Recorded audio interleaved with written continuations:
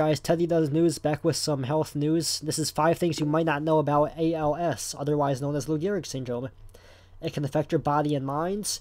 It's not necessarily an inherited disease, meaning that 90% of people with ALS have no family history of the disease. It's more common in men and white people. About 5,600 new cases of ALS are diagnosed annually. It's about 20% more common in one than in women, and 93% of the patients registered in the ALS care database are Caucasian. Symptoms are sudden, and people with the disease may live longer.